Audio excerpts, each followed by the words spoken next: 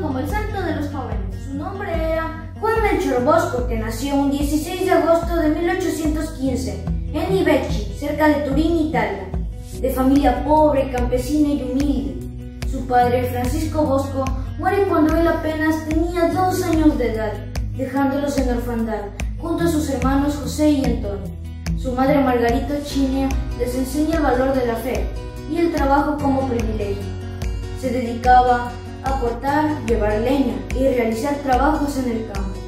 A los nueve años tuvo un sueño que lo inspiró y cambiaría su vida para siempre.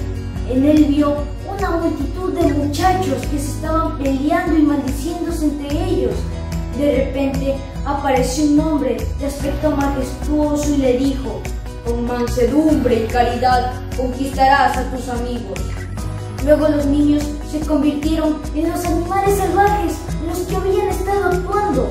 Una vez más, el hombre le dijo a Juan el campo era el trabajo de toda su vida y que una vez que Juan cambiara y creciera en humildad y fidelidad, vería un cambio en los niños. Los animales salvajes se transformaron en tiernos corderitos. Una dama majestuosa apareció y agregó, hazte humilde, robusto, en el momento adecuado entenderás todo. Desde aquel sueño sabía que su destino estaba en el sacerdocio y se dedicaría a ayudar a los jóvenes y pobres. Tuvo que dejar su casa para asistir a la escuela de la ciudad, donde caminaría durante horas.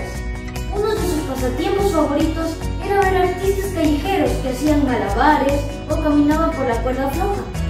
Juan vio la oportunidad para aprender esos trucos comenzó a hacer sus propios espectáculos en las calles.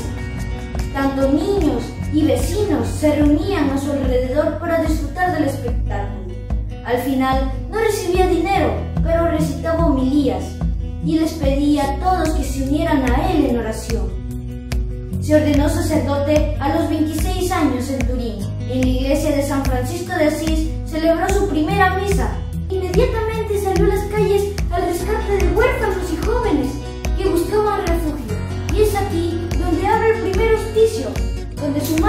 Juan no solo alimentó a los huérfanos, sino que les dio educación y ayudó a encontrar trabajo.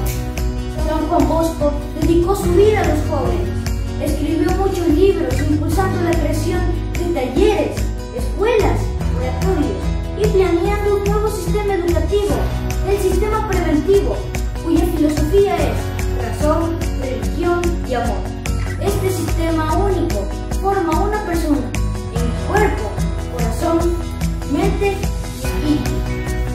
de Don Bosco pasó a estar con Dios el 31 de enero de 1888 y sus últimas palabras fueron, nunca olviden estas tres cosas, la devoción al Santísimo Sacramento, la devoción a María Auxiliadora y la devoción al Santo Padre.